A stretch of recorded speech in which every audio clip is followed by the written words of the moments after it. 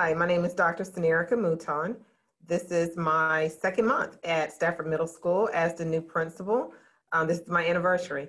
I am originally from a small town outside of Shreveport, Louisiana called Blanchard.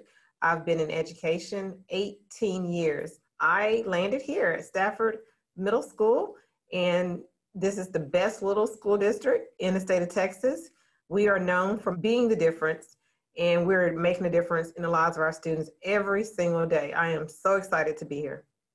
I am excited about every student that I have encountered on this campus. I am slowly meeting my students and my parents. Um, unfortunately, due to COVID, I can't meet them um, in a large setting like I would normally do, but I am meeting them. I'm excited about our teachers and the academic excellence that we have on this campus and just continue to move the academic needle forward.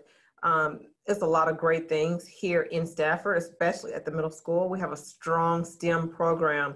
With that STEM program comes robotics. And now we have a drone club. It is awesome to see the drones being flown after school. So we have students participating in that. So our STEM program is so strong. Our teachers are pushing the academic needle, and I am supporting them all the way. How exciting to be the new principal of Stafford Middle School in a new building. We are three floors.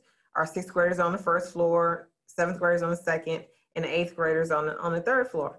And it is such a beautiful building. The students appreciate the beauty. I think our teachers do as well. Um, it is such a cool campus to be a part of.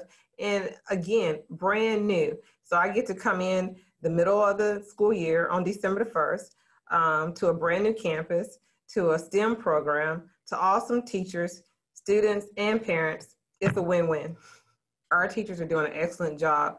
Parents communicate via email or call daily in regards to their students, making sure that their grades are up to par, that they're getting the assignments, that they're not missing anything. If they're going to be out because of COVID, they want to make sure they have all the assignments. Our parents are engaged as well. And that's powerful because we need that the parental support. Without that, we cannot be successful as a campus or as a district.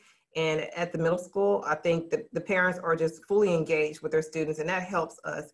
It has been a challenge, but with that parental support, then we, we can in, encourage the students um, not only engagement, but they're striving in their academics on a daily basis.